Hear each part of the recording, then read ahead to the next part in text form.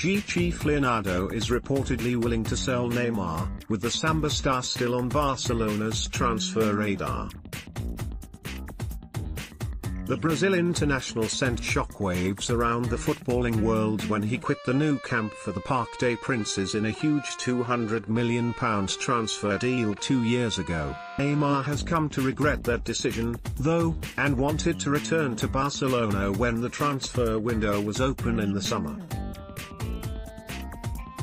At the time, many suggested that Leonardo was the one stopping the 27-year-old from jumping ship, yet Mundo Deportivo say that PSG chief wants Neymar sold because he's tired of the player's attitude, his dissolute life, how he manages his life and how he prepares himself for matches. Neymar has always been considered a soap opera star, despite his obvious talent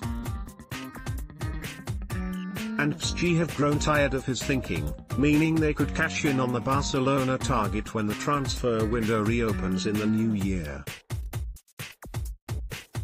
He's also known to have a colorful lifestyle, often being snapped in casinos around Paris or extravagant parties. PSG believed at one stage in the past that Neymar actually enjoyed those things more than football, despite him always insisting he is focused on the task in hand.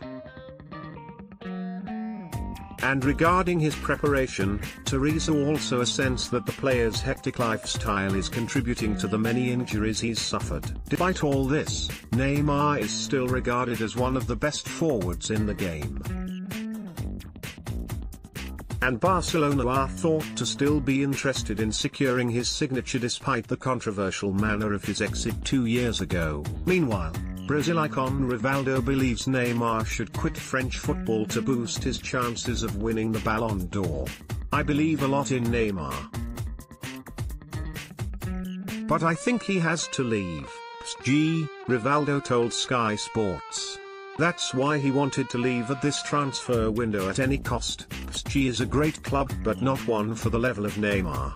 I think that, at a world stage, everybody talks only about Barcelona, Real Madrid and some other big clubs from England, some from Germany. He has to go to a club that has more history at Champions League.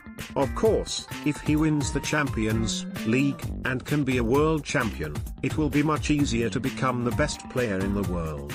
Rivaldo did, however, urged Neymar to consider a move to Real Madrid as well. If a club like Real Madrid is interested, I am sure he would go there, he added.